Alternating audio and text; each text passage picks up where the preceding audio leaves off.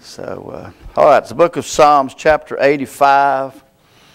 And I'm just going to read one verse, a very familiar uh, verse of Scripture, verse number 6. And the psalmist uh, David is crying out to God for revival. I heard somebody mention that this morning and tonight. We need a moving of God in our lives and our homes, our churches, and all. And uh, he said in Psalms 85, verses number 6, Wilt thou not revive us again that thy people may rejoice in thee? Psalmist is just that asking a simple question. You can go uh, in front of it, and it talks about uh, things that God has done, and you go after it, it talks about things that God is going to do.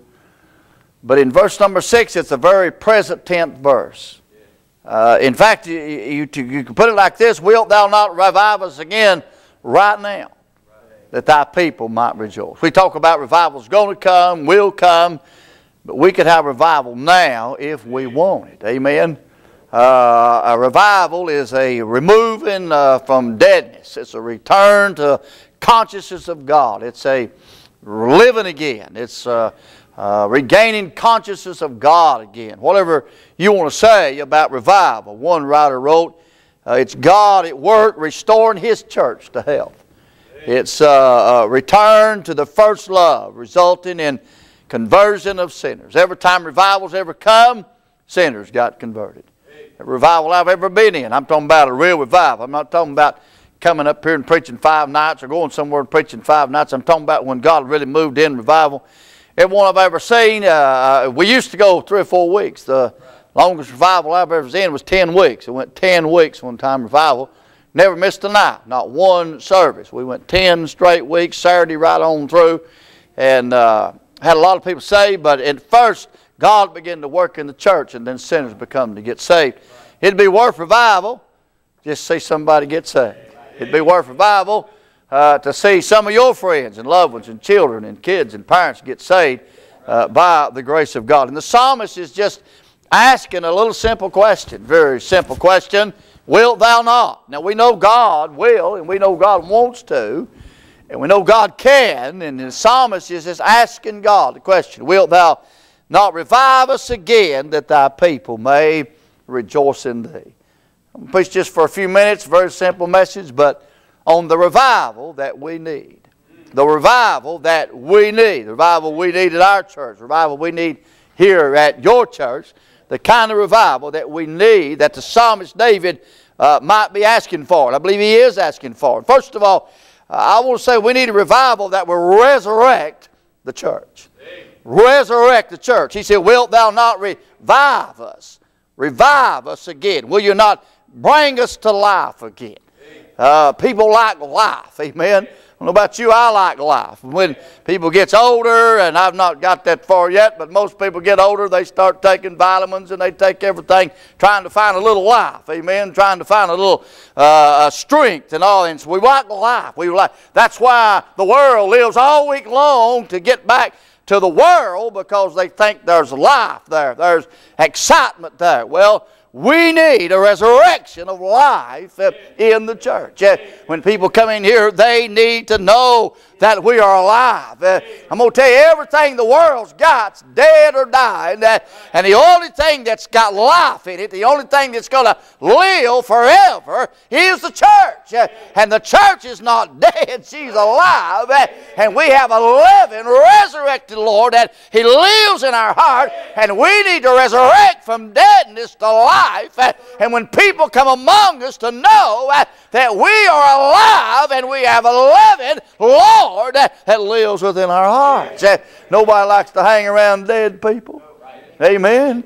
Anybody ever took a vacation and stayed a week at the funeral home? No, we don't like deadness. We don't even like to go around the funeral home. Uh, uh, we don't like deadness. Uh, my friend, and I'll tell you what, the world is looking for something that's alive. And a lot of our churches that we go in are cold and dead and callous. Uh, uh, there's no life to them. We sing dead. Uh, we sing with just form and formality. my friend, we preach in the same way. and we, we just operate in the same way. We got the same movement. and there's no life within our hearts. but revival means a returning to life. Uh, uh, my friend, Revelation 3 said you got a name that you're alive, but you're dead. You got a name that you live. You got a name that your Savior's alive. You got a, your name that you got what everybody needs, but you're dead. And that word dead means you're not excited, you're not thrilled, you're moved. And my friend, there's no motion within you. Something that's live is going to move. Something that's live can be stirred. Uh, something that's dead ain't going to move. Something that's dead can't be stirred. Uh, and we need a resurrection. He said, "Well, thou not revive us again? Will you not resurrect us uh, and bring life uh, new to our hearts? Uh, the example of life is, is Lazarus in John chapter 11. Uh, he was sick. I'm going to tell you, before you die, most time you get sick. Amen. Some people just fall dead, uh, but uh, most people they get sick, uh, and then they, my friend, they get worse, and then they die. Uh, and Lazarus was sick, uh, and then the Bible said he died. Uh, and my friend, they sent for the Lord, and the Lord come. They, I, am sure when he died or got sick, they done everything they could to, to resurrect him from that deadness. and you know what? We're sick tonight. our churches are sick, and you know what we do? We try to we try to turn everywhere in the world uh, uh, to find life. Uh, we'll, we'll come up with some new kind of program. Uh, we'll have some kind of big celebration. We'll do everything in the world and we'll try to copy the world to bring life. but I'll tell you, the only hope for life was Lazarus, was the Lord. and the psalmist ain't asking God, my friend, to bless a program. he said, Will thou not revive us again? That our people may rejoice. And Lazarus came. Martha said, Lord, if you'd been here, my brother wouldn't have died. And Mary said the same. He said, Where is he? And the Bible said he went and he spoke, and life came to Lazarus, and he was he that was dead, uh, came forth with life. I'm going to tell you, we need that kind of resurrection that would bring us from deadness, uh, my friend, and coldness uh, to life within ourselves kind of like taking an old fire and, and uh, you know, the coals is just laying down there and, and it looks like it's about to smother out. Uh, but you can stoke that fire up. Uh, you know what? It'll liven up. Uh, throw a few little coals on there and stuff and it'll liven back up. I'm going to tell you, we need to stoke the fire that God has within our hearts and the fire that God has within our church. we need a resurrection of the fire of God. no wonder the world comes and walks in and leaves. people come and walk in and leave and never came back. They don't have nothing. They don't feel nothing. They don't have nothing. They don't see nothing that they don't have. But I tell you, when you come in here and you got life among you, my friend, and God begins to move, uh, my friend, something's going to happen. We went through a long cold spell at our church, and, and uh, they talk about a short winter. We had a long winter. we had a long, I mean, we we were struggling, and I I really sought the Lord. Lord, am I did I need to go? And and, and if I do, I'm willing. If somebody else needs to go, uh, let them go. Whatever. Uh, and I was really seeking the Lord. We were just kind of in a form. Uh, nobody getting saved. Uh, nothing happening. Just coming, singing, going home, preaching. Uh, and my friend, but we we got to really. I preached the message a few weeks ago. Uh, I preached the message about my friend. I, I just up and preached off the cuff Brother Doug, just one of them, you know, you just get off the pew. And, and I got up and preached on that. My friend, it's time to build. It's time to build uh, Gilead Baptist Church. And our folks caught on to that thing. They went to work and went to visiting. Uh, and my friend, listen, and within three weeks, uh, we had eight people join our church and two ladies got saved. Uh, and my friend, right now our church is excited and thrilled. you know what happened? my friend, we began to seek God and God began to bring life. And my friend, the choir Sunday, they sang twice. They sung so good the first time when we sat down, I just called them back up and they sung again.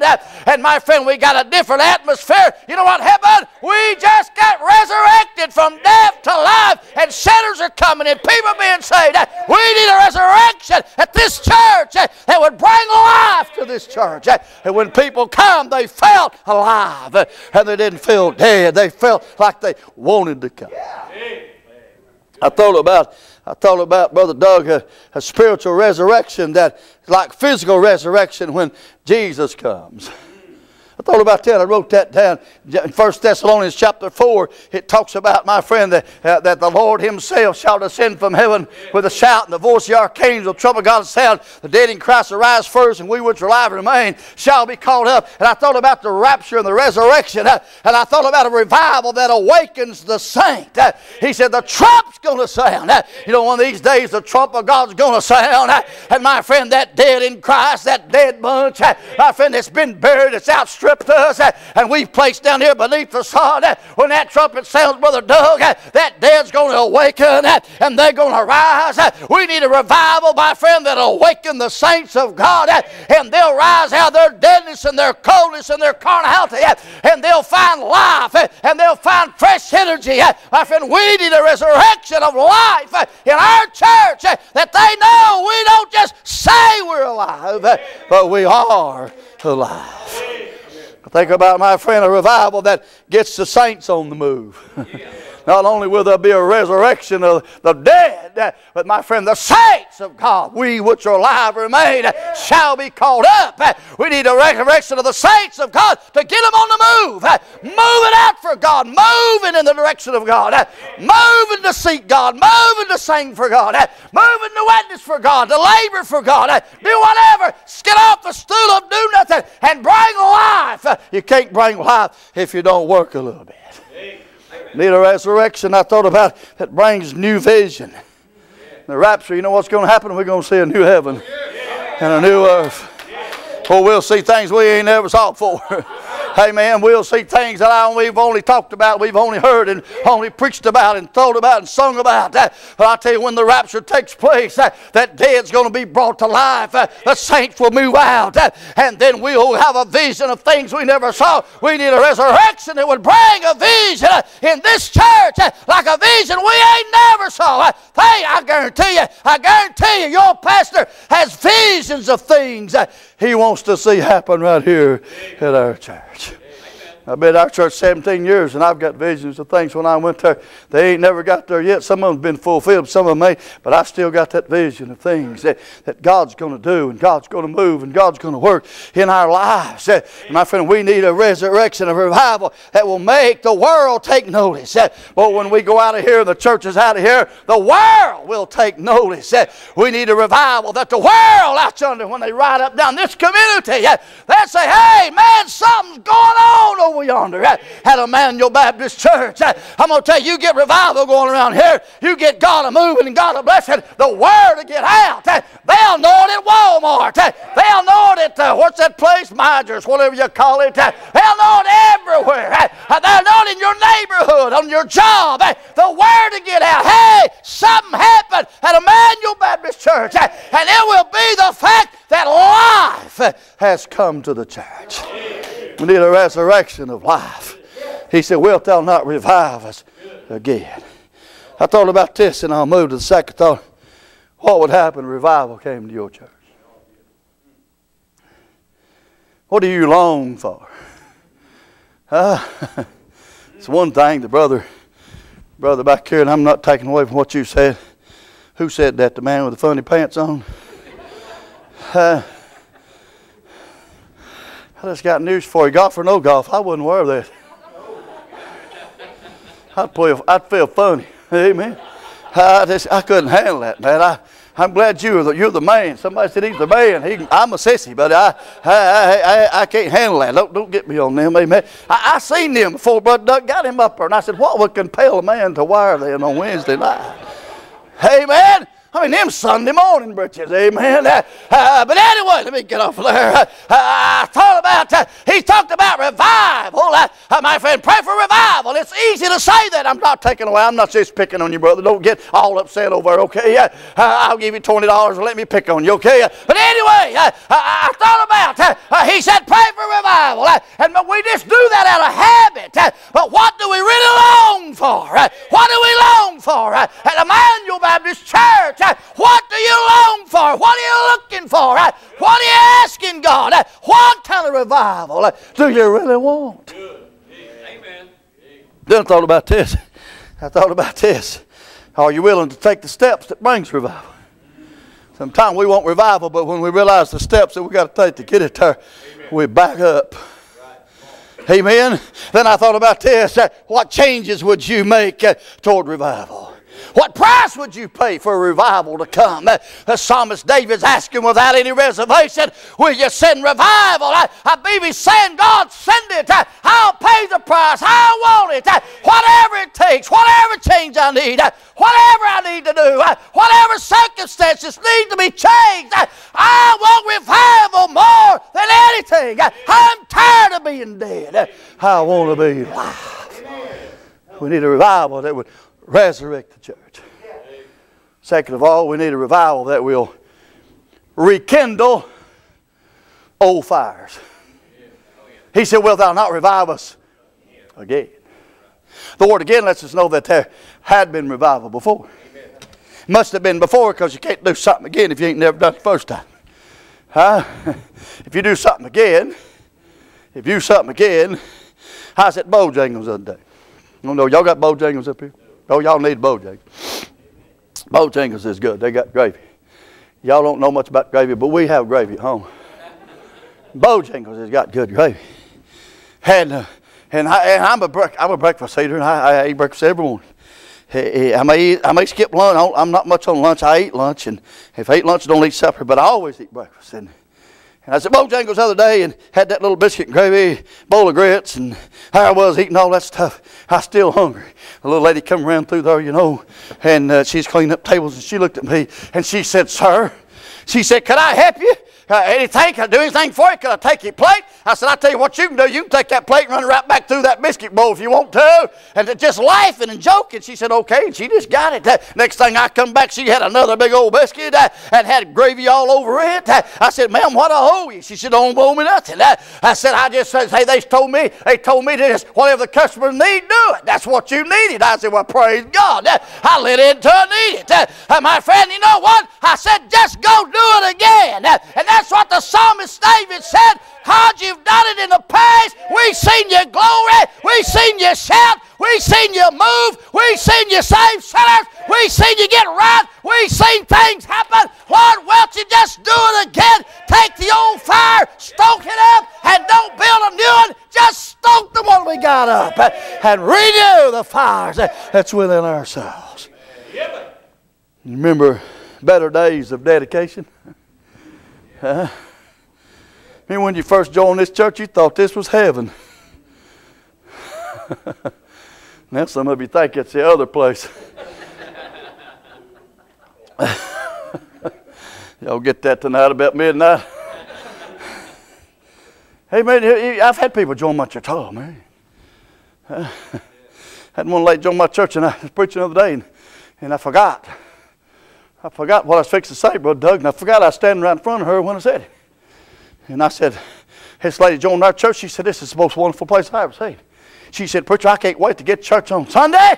And I can't wait to see you. I can't wait to hear you preach. You're the best preacher I ever heard. I know she was lying, but I, I ate it up for a few minutes. Uh, uh, she said, You're the best preacher I ever heard. I ain't never heard no preaching like that. I've been in a church all my life. I ain't never heard nobody preach like you preach. Uh, and said, I can't wait. And she was so excited. Uh, she's been here about five years. Uh, now she's missing on Wednesday nights. Uh, and my friend, now she's not coming much on Sunday night. Uh, comes on Sunday morning. Uh, I noticed the other day she got out of the choir. I was preaching the other day, and I told I said, you remember when you was dedicated this church and you was excited about this church? Now you're dead and cold and your fire's gone out. You need to rekindle that fire of dedication. I remember when the church, boy, that was a wonderful place. We couldn't wait to get here. It was dedicated to the services, dedicated to what was going on.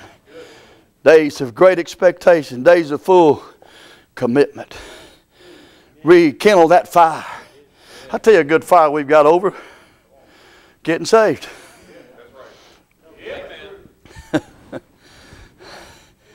if y'all had to convince me, some y'all, I don't know nothing about y'all, some of my folks had to convince me that I needed to get saved and get what they had, I'd run.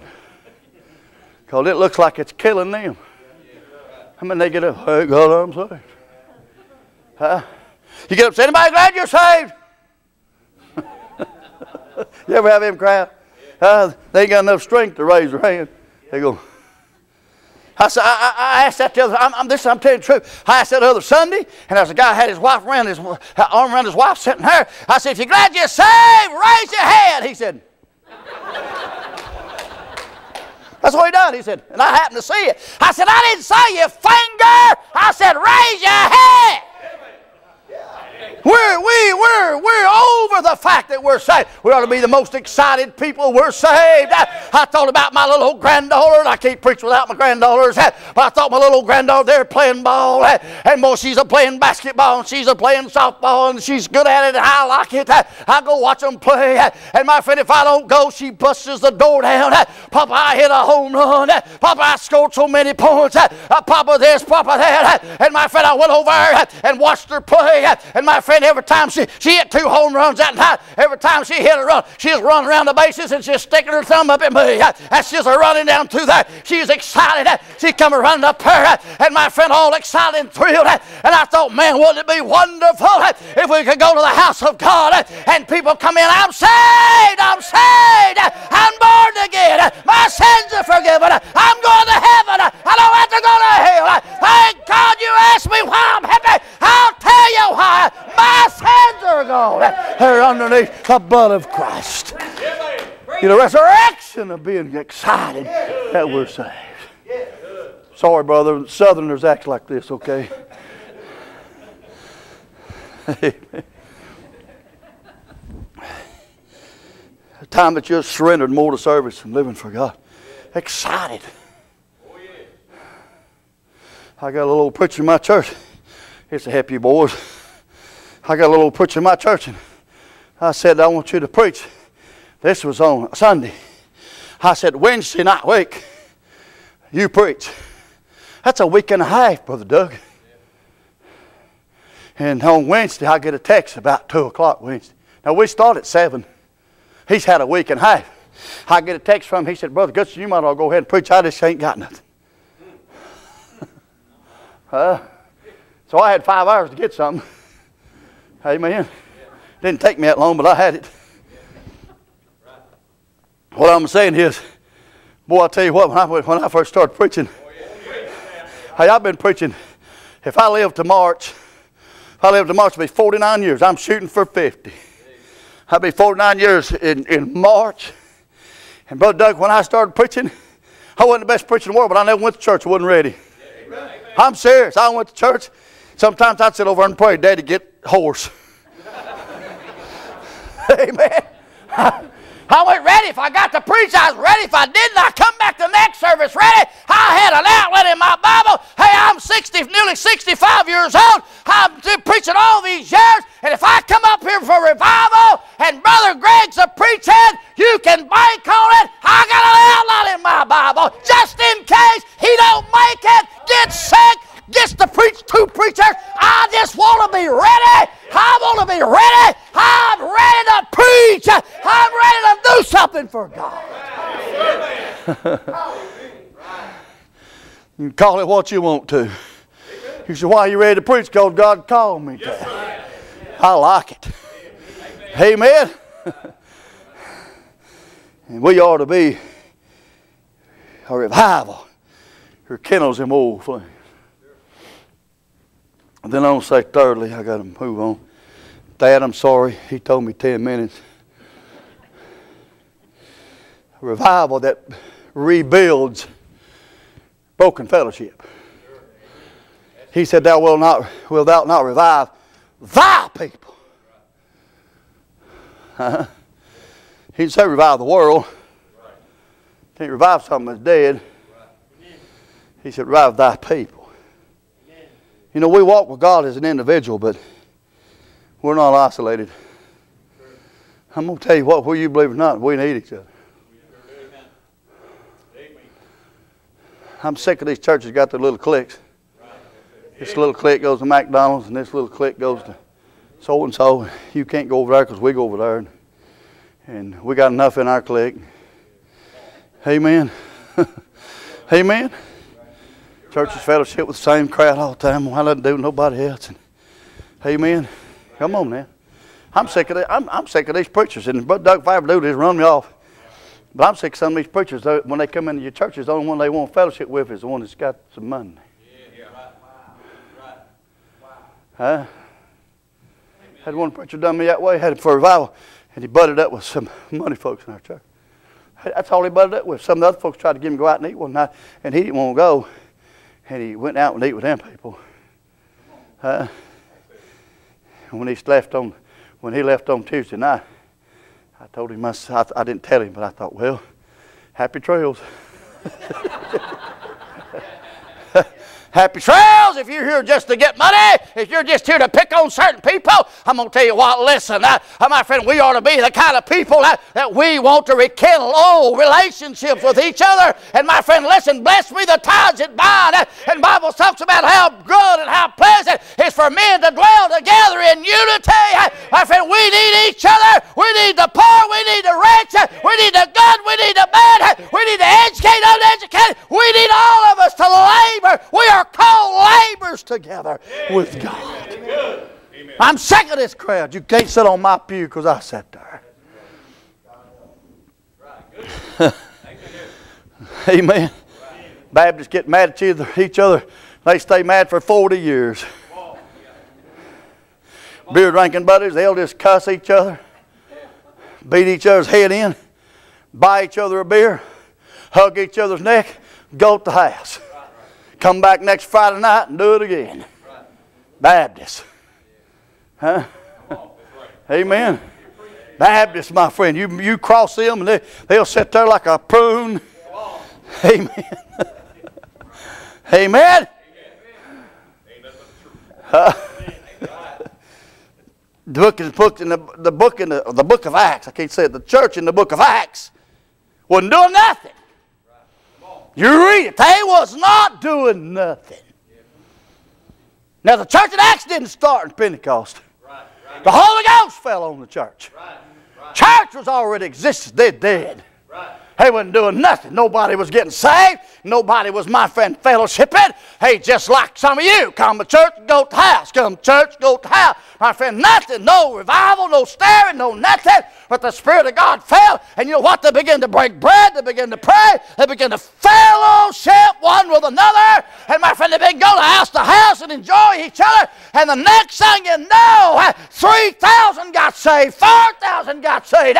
The Lord had the church daily. The church was revived. People's need was supplied. You know what happened? They got together and loved one another. Amen. Good. Man, when you first join church, you, you just want to get in on everything. Now you want to pick. well, that ain't my thing. We didn't ask you if it's your thing. We just announced it come. Next time we'll do your thing. And who knows, you might like the thing if you try it. It ain't my thing. huh? If they're in charge, my kids ain't going.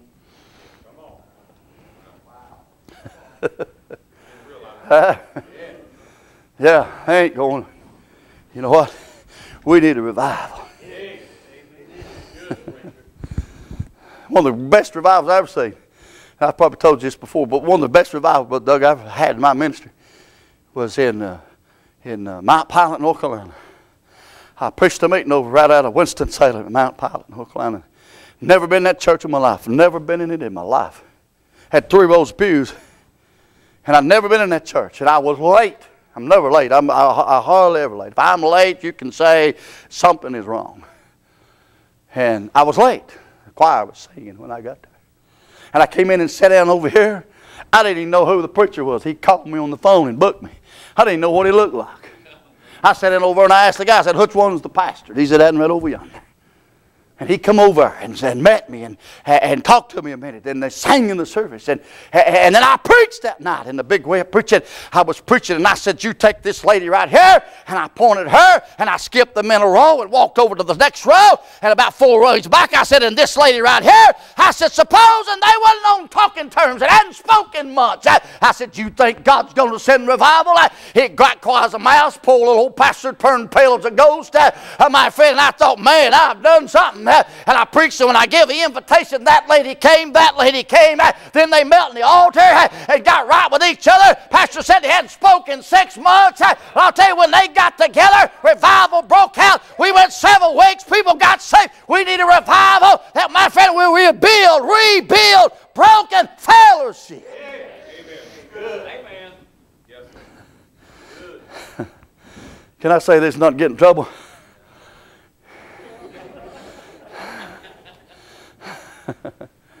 if me and Brother Doug lose his fellowship, perish that thought, but if we did. You know the way the best way to get fellowship back?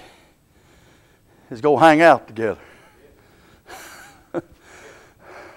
Because if I stay in Tennessee, I'm going to stay at sorry, Doug.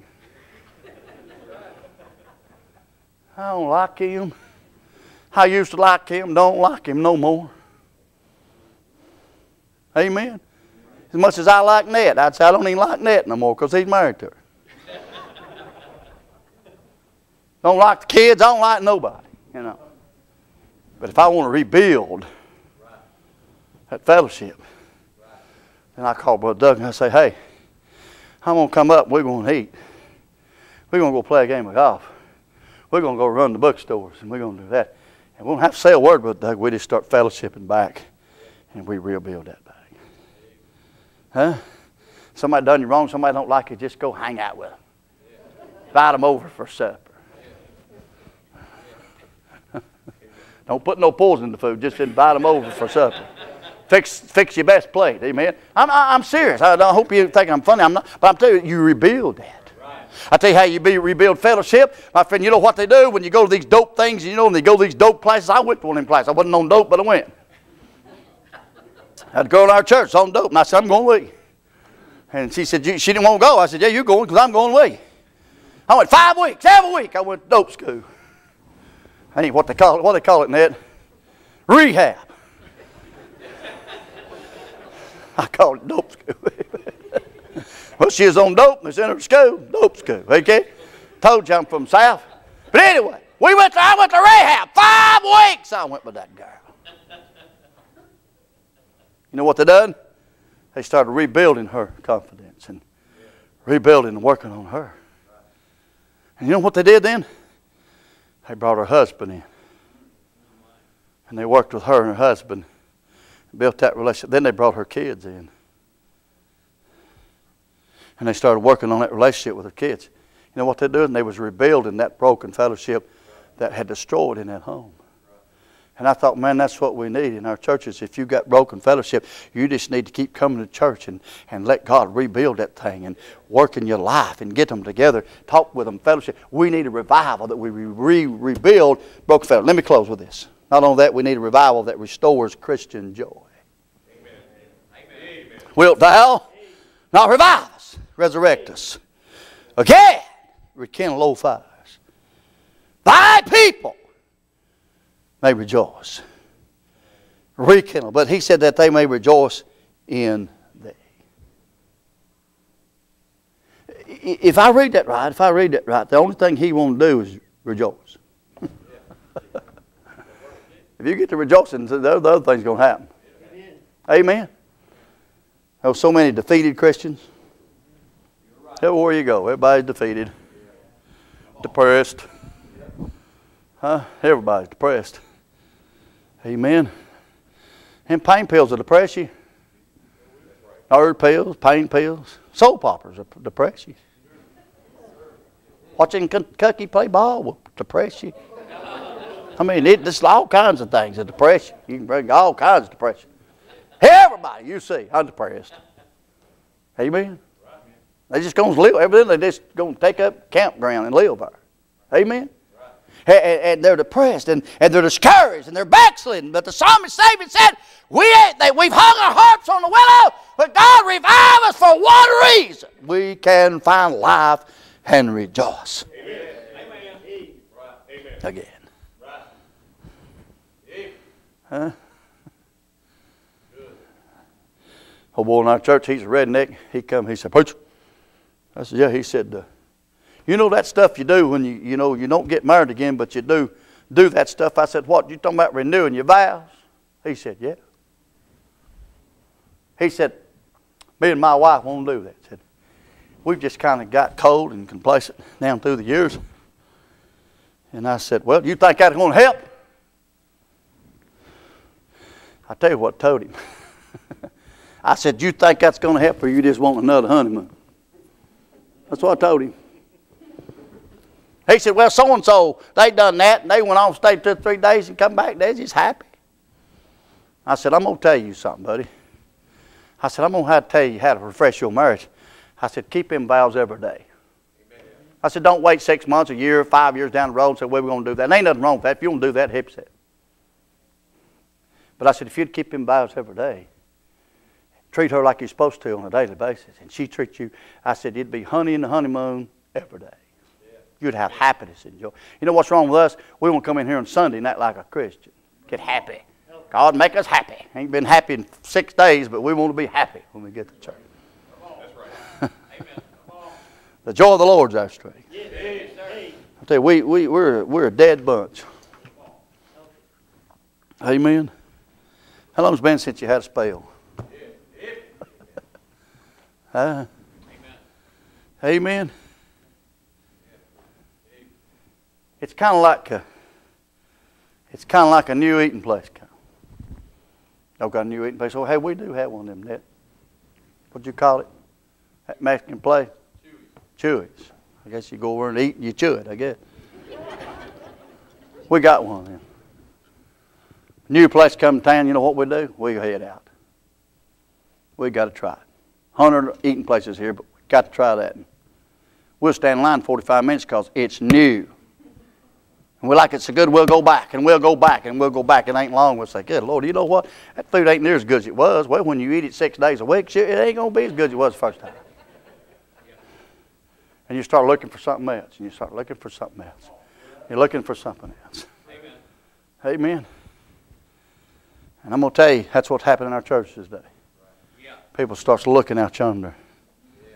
And they think they see life. They see big buildings and growths and programs and health centers and all this in the church. And they think that's life.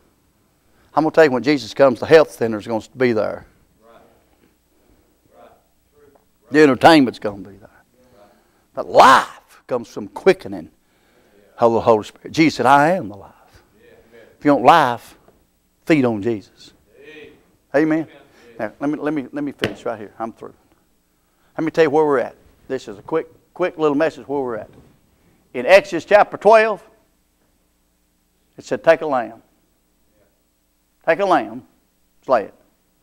Put the blood over the, over the top of the door. The death angel comes. Elder son, get behind the blood. Said, When I see the blood, I'll pass over you. We just shout. We preach on that, preach on the blood. I'm under the blood. I'm behind the blood, covered by the blood. Blood's been shed we have our spell for spell. And there's nothing wrong with that. I'm not taking away from that. But that ain't all that scripture said. It said once after you get behind that blood, it said eat the lamb. Feed on the lamb. And some people just run around hollering, I'm in the blood, I'm under the blood, I'm under blood. And they ain't eat the lamb Jesus. He said, eat the lamb, eat it all. Amen.